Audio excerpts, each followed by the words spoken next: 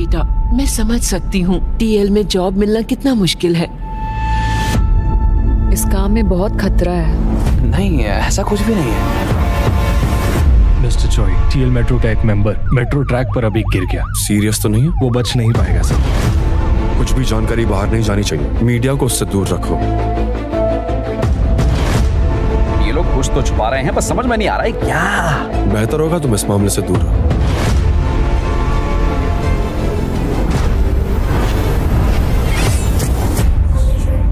कोई मामूली डॉक्टर नहीं है। वो डॉक्टर डिटेक्टिव है।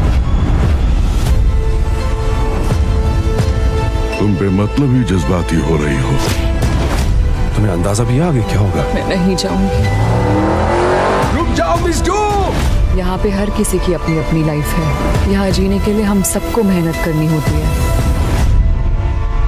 मॉम आप आ तो रही है ना? मैं अपनी बेटी के सामने सर उठाकर जीना चाहती हूँ।